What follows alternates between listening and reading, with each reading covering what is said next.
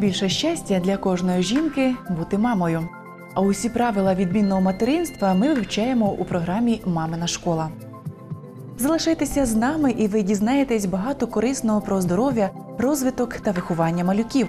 Сьогодні ми з'ясуємо, що таке гіпертонус немовлят та які дітки належать до групи ризику, харчування під час вагітності, чим небезпечне переїдання, кмітливий малюк, коли саме дитина потребує розвиваючих іграшок. Майже 90% новонароджених немовлят за статистикою мають підвищений тонус м'язів. Лікарі такий стан називають гіпертонусом. Чим небезпечний гіпертонус для дитини? Як його розпізнати та подолати? Про це у наступному сюжеті. Нагадаю, генеральний спонсор програми Мамина школа торговельно-розважальний центр Караван. Майже усі діти народжуються із підвищеним тонусом м'язів. Це пояснюється тим, що 9 місяців у маминому животику маля перебуває зі щільно зігнутими ручками та ніжками. Фізіологічний тонус тримається до 3-3,5 місяців. Потім у нормі відбувається його поступове зниження. Если к трем месяцам мама заметила, что ручки ребенок держит больше в кулачках, не пытается раскрывать руки, чтобы захватить игрушечку, или видит какую-то асимметрию в тонусе, потому что гипертонус, он же не симметрично может там повышен. Если в три месяца маму что-то настораживает, она должна обязательно обратиться к детскому неврологу. Отже, гіпертонус як неврологічну проблему можна розглядати лише після трьох місяців. У групі ризику опиняються малята, мама яких у другій половині вагітності мала інфекційні захворювання, загрози викидня, страждала гіпертонусом матки або ж пологи проходили надто складно. Якщо гіпертонус не діагностувати вчасно, це може загрожувати затримкою фізичного розвитку дитини. Главная проблема повышенного тонуса в том, что ребенок а, должен приобретать навыки. То есть тонус к трем месяцам, например, падает, и ребенок что начинает делать? Захватывать игрушку, поворачиваться на бочок, переворачиваться. Но если у него повышен тонус, то эти навыки, они задерживаются. Крайнее проявление повышенного тонуса э, есть такое заболевание детский церебральный паралич. Когда повышенный тонус есть сохраняется, он разных типов бывает. Ну вот самый ну, легкий э, это есть диплегия, когда повышен тонус дистально в стопочках, и ребенок что, начинает ходить и опираться только на носочки. Вчасно виявлений гіпертонус добре піддається лікуванню. Медичні препарати призначають зрідка. Переважно терапія складається із лікувальної гімнастики та розслаблюючого масажу. Самое главное это расслабить мышцы, а для этого основу массажа составляет поглаживание. Вторая важная составляющая данного массажа – это вибрация. За счет того, что мы потряхиваем ручки-ножки, даем мелкую такую вибрацию, мышцы тоже расслабляются. И уже после поглаживания и после вибраций можно еще провести точечный массаж, если объяснить родителям как. И после этого уже можно делать тогда гимнастику. Сначала в любом случае надо прийти к врачу, чтобы врач посмотрел, поставил диагноз, назначил как что делать, А, плюс пройти курс массажа у массажиста, который тоже покажет, объяснит, какие дома делать упражнения, и дальше можно заниматься и дома. Окрім масажу для подолання гіпертонусу, лікарі також можуть призначити плавання або заняття на фітбольному м'ячі. А от ще однією проблемою із м'язовою системою малюка може бути інший крайній вияв тонусу гіпотонус. Проте таке захворювання зустрічається дуже рідко. Лікується такий стан масажами, що стимулюють роботу м'язів. Иногда бывает такая проблема, как гипотонус, то есть сниженный тонус. Когда ребеночек лежит, м, ручки наоборот раскрыты, он такой вялый, пассивный. Приобретение навыка точно так же затрудняется. Если он, например, даже ну, перевернулся там вот и сел. Часто, когда детки с гипотонусом, они садятся, они начинают что? Держать кругленькой спинкой, то есть неровненько совсем. У них позже э, проявляется навык и посадки, и ползания. Как раз до трех месяцев, когда гипотонус, нужно обращаться в ближайшее время э, к неврологу. Для профілактики тонусів у малят із перших днів життя лікарі рекомендують щоденну гімнастику і плавання. Дуже важливим є тактильний контакт, який дитинка отримує під час обіймів із люблячою матусею. Кажуть, майбутні матусі при надії мають їсти за двох, адже переважно від харчування залежить здоров'я майбутнього малюка. Проте приїдання може бути небезпечним. Пропоную дізнатися, скільки потрібно вагітним набирати у вазі та як правильно харчуватися у цей особливий період. Бігова доріжка, степер, фітнес-справи. Головні супутники Євгенії на шляху до важливої мети скинути зайві кілограми після пологів. Дівчина намагається вже більше ніж півроку. За цей період вдалося втратити аж 10 кіло. Але на цьому молода матуся не зупиняється. каже, що початкову вагу досі не відновила. Забеременела я была, весила 51 килограмм.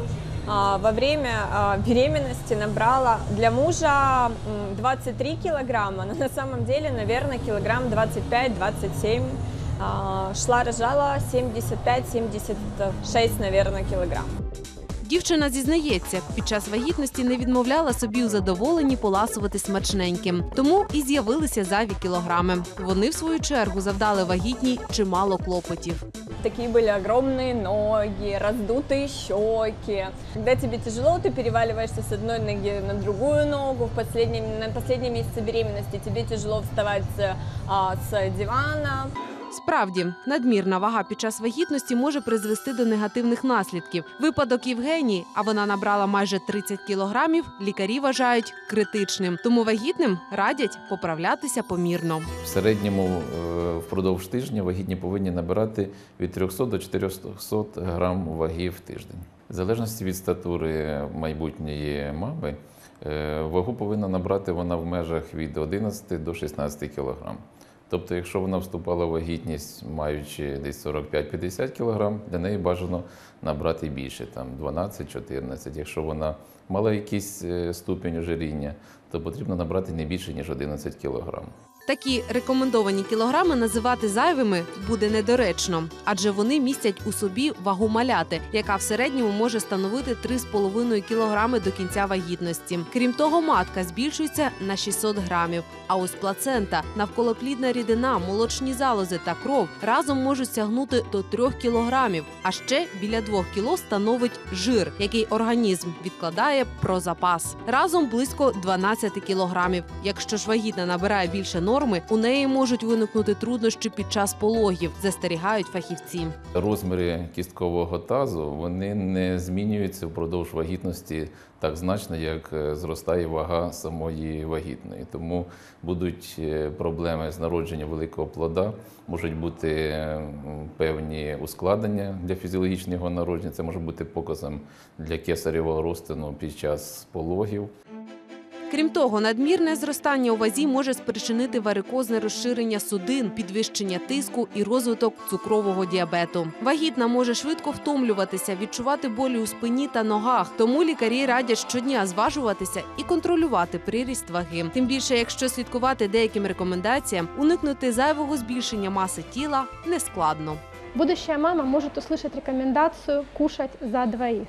На самом деле важно не то, сколько мама э, кушает, а что она кушает. Если рацион здоровый, если он оптимизирован в сторону полезных продуктов, то нет никакой необходимости увеличивать его вдвое. Отже, під час вагітності фахівці радять виключити з раціону шкідливі продукти, такі як ковбаса, соління, солодощі, газована вода, смажені та жирні страви, а також фастфуд. Але якщо дуже хочеться, поласувати смачненьким можна, але у мінімальній порції. Ті продукти, яких їй надзвичайно хочеться, їх не можна виключати.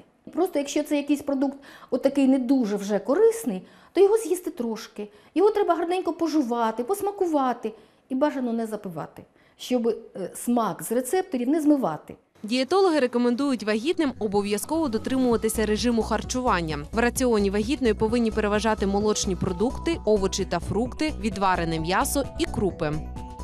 Важливим є повноцінний сніданок, адже під час сну мама і дитина перебували довгий час без їжі, тому необхідно поповнити поживні запаси. Якщо протягом дня постійно хочеться їсти, деякі прийоми їжі можна замінити жменькою горіхів або сухофруктів. Не нова рекомендація пити воду 6-8 склянок на день. Калорійну і важку їжу краще вживати в першій половині дня, а на вечір залишити легкі страви. Переїдання перед сном одна з найбільш згубних звичок. Однак, якщо майбутня мама все-таки відчуває сильний голод, можна з'їсти знежирений сир або фрукти. Не робити, скажімо, три основних прийоми їжі і кучу, кучу перекусів. Так не треба робити. Тому що в ці перекуси вони з'їдають якісь там тістечка, печенька, якісь там солодощі. Не треба цього робити. Треба, щоб кожен прийом їжі був рівнозначний. Хай їх буде 8, 10 цих прийомів їжі, але потрошку і майже рівнозначні. Втім, надмірної ваги під час вагітності боятися не потрібно. Пам'ятайте, що після пологів колишні форми неодмінно повернуться. Головне правильно харчуватися та вести активний спосіб життя. Останнім часом стало модно купувати дітям розвиваючі іграшки. І хоч психологи твердять, що позитивно на розвиток дитини впливає кожна нова забавка або враження від цікавої гри. Давайте з'ясуємо, скільки користі принесе дитині розвиваюча іграшка і з якого віку вона потрібна малюку. Інформаційний партнер нашої програми журнал Мама і я.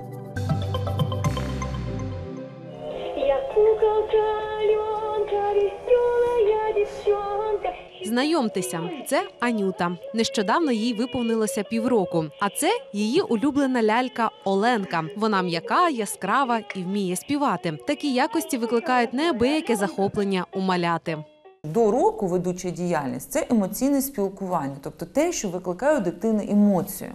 І е, в цьому віці до року досить активно починають розвиватися різні органи чуття, тобто те, що дитина чує, що вона бачить, і що вона отримує, які інформації вона отримує на дотик. Перші розвиваючі іграшки мають з'явитися в житті дитини в 6 місяців. У цьому віці маля завжди у пошуках нових вражень. Відчуття дотику впливають на нервову систему та головний мозок. Тому купуйте маляті іграшки, які відрізняються за формою, структурою і матеріалом. Ми намагаємося їй давати іграшки різної величини, різної форми, структури, іграшки такі, щоб е, всередині е, були шарики, наприклад, з такого мішку. Вона так пальчиками кожен шарик перебирає і, ну, це розвиває е, тактильні відчуття. Від 6 до 12 місяців найкращі забавки це кубики, пірамідки, м'які ляльки і тварини. Також маляті будуть до вподоби музичні та рухомі іграшки. Після року ваше маля не сидить на місці вже ані хвилини. Це період, коли діти вчаться ходити та говорити. Формується моторика, увага, мислення та мова. Для однорічних малят важливі іграшки, з якими можна гратися у русі, переміщувати, складати, розкладати, будувати. Одна із самих улюблених іграшок це в нас є на сьогодні пазл із крижечки. Тобто тут є е, різні овочі та фрукти. Дитинка дивиться на форми, намагається сама їх складати і формувати. А вже після двох років дітям потрібна сюжетно-рольова гра. Вони стають більш допитливими, поповнюють свій словниковий запас, грають, копіюючи дії дорослих. Тому підійдуть іграшки, які імітують побутові речі. Наприклад, посуд, чайник, праска. Вони допоможуть дитині опанувати побутові навички. Проте навіть найкраще розвиваюча іграшка принесе мало користі, якщо малюк буде грати з нею наодинці, кажуть психологи. Лише завдяки увазі та допомозі батьків звичайна забавка може перетворитися на цікаве пізнання світу. Ми дивимося на ем, іграшку і думаємо, як я буду з нею грати. Я дорослий. Тому що все повинно бути тільки граючи. Досить гарний приклад це такі собачки. І ми програємо таку ситуацію. Собачки, собачки, вже ранок, досить спать. Треба вже вставати. О, вийшла перша собачка гратися, потім друга пішла гратися. Так, собачки, грайтеся, побігайте гарненько, треба ще косточку, щоб хтось знайшов, поїв. Тобто ми об- обіг, обігруємо, та, і дитина їй цікаво. Вона вже не концентрується, що треба складати. Їй цікаво, мама така щось тут вигадала, з собачками розмовляє. Тобто, ось це є ігрова мова. Ми начебто дитину вчили, а вийшла гра. Головне правило у виборі іграшки це відповідність віку дитини та етапу її розвитку. Адже якщо маля не впорається із завданням, може засмутитися і втратити цікавість до процесу гри та навчання. І звичайно, не варто заощаджувати на іграшках для дитини, купуючи забавки сумнівної якості. Швы должны быть не видны, то есть все должно быть хорошо прошито, чтобы когда ребенок взял в рот, он не остался, например, ушко от слоника во рту, да, э, или когда он потянул, чтобы это не упало на него.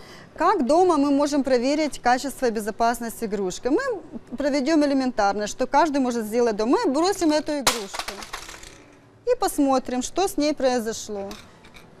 Да, уже хорошо, ничего нету на полу. Точно так же смотрим. Если все детали остались на месте, то эта игрушка является безопасной. Если же мы видим отколы, откус, отколы какие-то, видим какие-то повреждения, мы тут же берем эту игрушку и от нее избавляемся. Эта игрушка небезопасна для вашего ребенка. Обираючи іграшку, зверніть увагу, щоб на ній не було дрібних деталей, які дитина може проковтнути або відламати, а також гострих країв. Крім того, іграшка не повинна мати запахів клею чи фарби. Безпечна іграшка якісна, її легко мити та прати. Тому купувати розвиваючі іграшки краще у великих спеціалізованих магазинах, де вам покажуть відповідні сертифікати якості та нададуть змістовну консультацію. Якщо у вас є запитання щодо виховання та здоров'я дитини, пишіть нам на електронну адресу, яку бачите на екрані, або на нашу сторінку у Фейсбуці. Відповіді ви обов'язково отримаєте в ефірі нашої програми.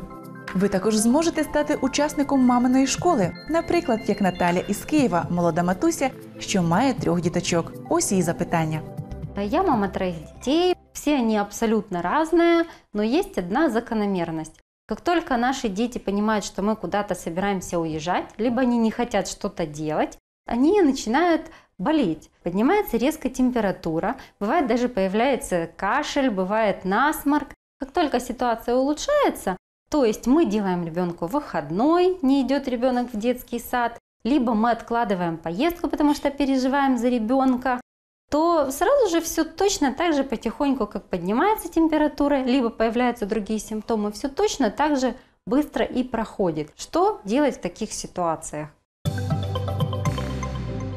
Бажано, щоб діти бачили, що все ж таки за допомогою такої поведінки, хоча вона у них підсвідомо, вони ж не свідомо це роблять, це підсвідомо, що все ж таки воно не призводить до бажаного результату, але досить акуратно, звичайно, з цим робити. Але все ж таки, щоб ми просто це для мами порада, щоб вона щоб її життя не було повністю залежно от від здоров'я дітей. Дітей троє, мама одна. Може, не вистачає часу на гру, на отакий, знаєте, тілесний контакт, коли ми можемо сісти, націлуватися, наобніматися, почитати, погратися.